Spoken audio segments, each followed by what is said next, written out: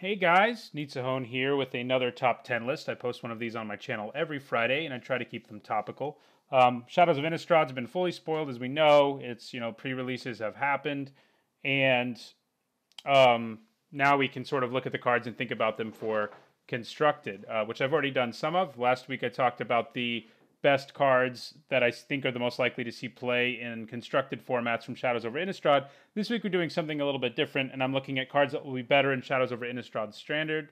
And what I mean by that is after the rotation occurs, it takes out Khans of Tarkir and Fate Reforged and brings in Shadows over Innistrad. Um, and I'm looking at cards that existed before Shadows over Innistrad, but are better because of the rotation that's occurring, either because cards are moving out or cards are moving in.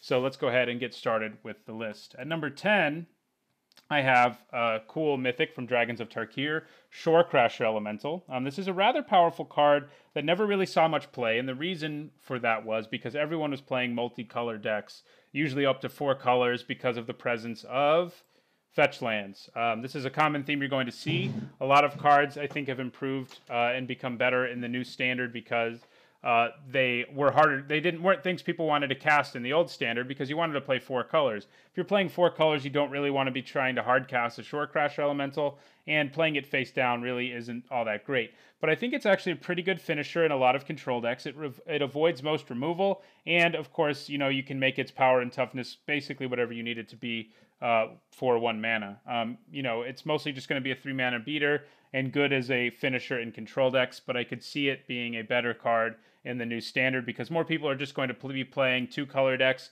even one color decks, than they were previously. So on to number 10, where I have Evolving Wilds. Um, this card really hasn't been around uh, for at all in standard because once again, people had fetch lands, which were far better than Evolving Wilds. But with fetch lands rotating out because they were printed in Khans of Tarkir, Evolving Wilds becomes a lot better. People are still going to want to play Jace, Vryn's Prodigy. They're still going to want to get enough cards in their graveyard to flip him quickly. Evolving Wilds helps you do that. Evolving Wilds also helps you fix your mana base. Um, if you want to be playing a two color deck, even, you probably want a few Evolving Wilds. And if you're going to try to be stretching to three, which I don't know if it's going to be possible in this new standard, you definitely need Evolving Wilds. Um, with basically just because the fetch lands are rotating, people are going to want evolving wilds. It may also be relevant if delirium is something that'll be relevant in constructed play because it'll help you get there in terms of delirium. So that's a card, evolving wilds, one that I think will improve in the new standard uh, because of the rotating out of fetch lands. Finally, we move to number eight, Ultimate Price. This is a card that I don't think is better because fetch lands are rotating out. I think it's better for a few reasons, though. Um, the format uh, previously did not have that many monocolored creatures. Uh, they were around, but some of the best big, scary win conditions in decks were cards like Mantis Rider, who obviously Ultimate Price can't do a thing about, and Siege Rhino, another card that that decks uh, that Ultimate Price couldn't do anything about. Um, they're both gold, so obviously couldn't deal with it. It is worth noting Ultimate Price still cannot deal with Eldrazi, which is a deck in the format. So main boarding multiple Ultimate Prices probably isn't ideal, but it's going to be a much better sideboard card and useful against more opponents. Um, and I think that's important. Another reason I think it'll be better is because one of the most efficient removal spells in the format, Murderous Cut, is rotating out, and black is going to be in need of a very efficient removal spell. And I think Ultimate Price can fill that void effectively. So that's what I have as the number eight card on my list of cards that will improve with the rotation that will occur with the release of Shadows over Innistrad. At number seven, I have Risen Executioner. Um, this is a card I love. If you watch my channel, you know I've played a decent number of zombie decks, and he's been in various incarnations of modern zombie decks I've built. But I think it's finally time for him to be good in standard. Um, you know, he's a zombie lord who's efficiently costed for power and toughness, and you can also cast him from your graveyard if you need to. The reason I think he's going to be better is because of the fact that uh, a lot of support for zombies has just been printed in Shadows over Innistrad, and more will probably be printed in Eldritch Moon. Here's a few examples of that. We have Diregraf Colossus, a constructed power card, I think, because it's a 3 mana 2 2. Gets bigger for every zombie in your graveyard, and not only that, every time you cast a zombie, you get another zombie. Uh, going wide with zombies is definitely what Risen Executioner wants to do. There's also, of course, Relentless Dead, who's even better than the Diregraf Colossus as a 2 mana 2 2 who has Menace and you can pay one black anytime he dies to return it to your hand. And on top of that, you can, it, it's important to remember, use both of these abilities. You can also pay X to return another zombie creature card from your graveyard to the battlefield. So you can pay 4 to return Risen Executioner, for example. And lastly, there's also Prized Amalgam. This is the one I'm probably the least certain about but obviously it works well with Risen Executioner because it's a zombie, and because if you can cast your Risen Executioner from your graveyard, Prized Amalgam will quickly join him. So I think Risen Executioner is a card that will improve in strength. If not right now, will be better once Eldritch Moon comes out and we see all the support zombies are going to get in this block. So that's what I have at number seven. At number six, I have Silumgar's Scorn. This is a card that has seen a lot of play actually in standard, but it's kind of gone out of favor uh, because uh, once again because uh, this time because the battle lands were printed but the battle lands worked really well with once again say it with me fetch lands. The fetch lands could fetch any battle land which made four color decks a thing in standard. You know people called them dark jeskai or mardu green or all these things. Basically they were all four color decks uh, all four color mid range decks basically. And now because and those four color decks couldn't cast Silumgar's Scorn very consistently in the early game but two color decks will be able to. Dragons decks are still going to exist. Um, dragons of Tarkir is still in standard, and that's basically where all the best dragons were. Um, all the Dragon Lords are still legal in standard, and so a control deck, a dragon control deck, is still going to exist, and Silumgar Scorn is still going to be a very good card, and it'll be back to where it used to be in standard before everyone moved to four color decks. So that's my number six, Silumgar Scorn. At number five, I have Liliana Heretical Healer slash Liliana Defiant Necromancer. Um, some of the flip walkers, of course, from Magic Origins have seen play, um, of, most especially Jace Vryn's Prodigy and uh, Nissa, Vastwood Seer. I don't, I don't remember what her name is right now, but Nissa, uh, the one who searches your library for land from Magic Origins, who's a flip walker. Um, and Liliana, Heretical Healer, has not seen any play really. Um, but I think she'll start to see some play. I can see her appearing in collected company decks. She's a very good creature. Um, she's, I mean, not creature, but she's an okay creature. When she flips, she makes a zombie to protect herself. But the thing that I think really seals her um, for being a good card in uh, standard is the fact that Madness was introduced once again into standard in Shadows over Innistrad, and her each player discards ability become discards a card ability becomes less symmetrical when you can cast cards with Madness. Um, there are two cards that I could see seeing playing constructed, and just in Liliana's color of black that have madness. One of them is Asylum Visitor, um, a very good card because it can help you draw cards. Also works very well with Liliana because you're emptying your opponent's hand with her ability, while which will then make you be able to draw cards with Asylum Visitor, and you can discard it and you know pay it for its madness cost. And another one is Gisa's Bidding, which can make you four power of zombies for three if you're discarding it with Liliana.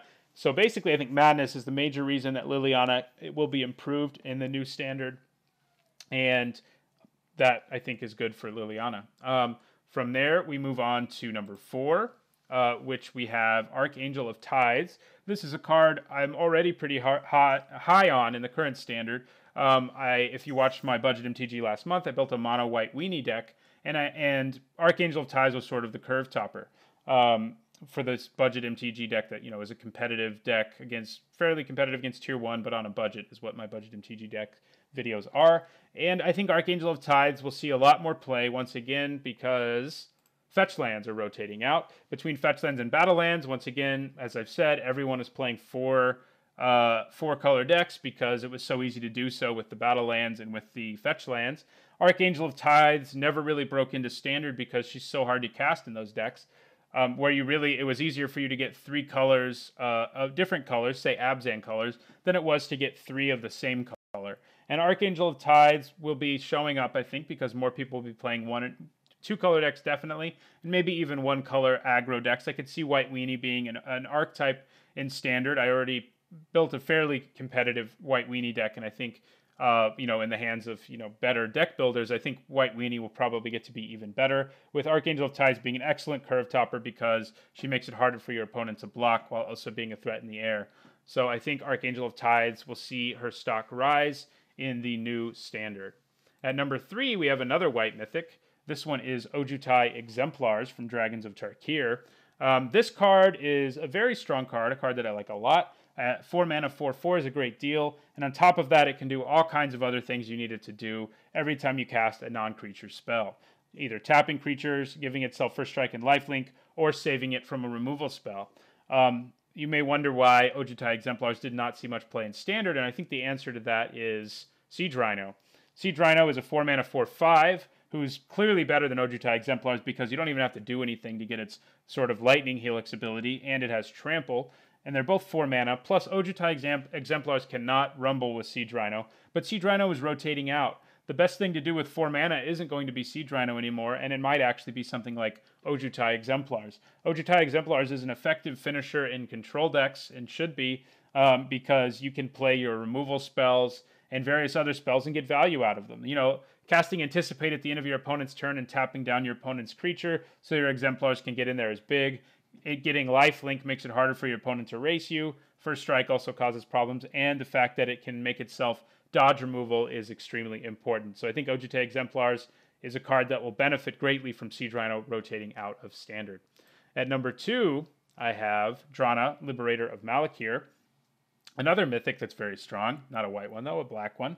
Three mana for a 2 3 flying first strike. Whenever she hits the opponent, you get to put a plus one plus one counter on each attacking creature you control. Because she has first strike, this means your other creatures all get bigger before they actually do combat damage, unless, of course, they also have first strike. Seems like a very strong card, but once again, it's a card that was held back by a card from Khans of Tarkir. Not Siege Rhino this time, but Mantis Rider.